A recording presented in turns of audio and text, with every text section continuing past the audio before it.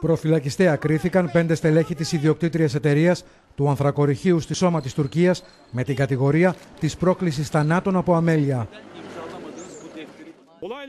Νωρίτερα συνελήφθησαν συνολικά 25 άτομα, μεταξύ αυτών και ο διευθύνων σύμβουλος της εταιρείας, στο πλαίσιο των ερευνών για το δυστύχημα που στήχησε τη ζωή σε 301 ανθρακορίχους.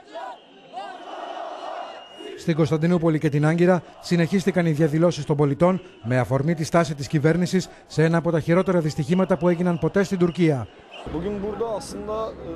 Συγκεντρωθήκαμε σήμερα για να τιμήσουμε τη μνήμη των ανθρακορίχων που πέθαναν στη Σώμα. Μια περίοδος εθνικού πένθους κηρύχθηκε σε όλη τη χώρα.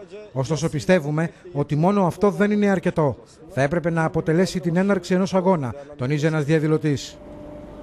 Και ενώ οι έρευνες του ορυχείου ολοκληρώθηκαν το Σάββατο, στην πόλη Σώμα αναπτύχθηκαν στρατιωτικές δυνάμεις, προκειμένου να αποτραπούν διαδηλώσεις των εξορκισμένων κατοίκων. Την Κυριακή, σε κλίμα πένθους και βαθιά οδύνη, έγιναν οι κηδείε δύο ακόμη εργαζομένων του Αθρακοριχείου, οι σωροί των οποίων εντοπίστηκαν τελευταίες. Το δυστύχημα έχει ανοίξει νέο μέτωπο κατά της κυβέρνησης Ερντογάν.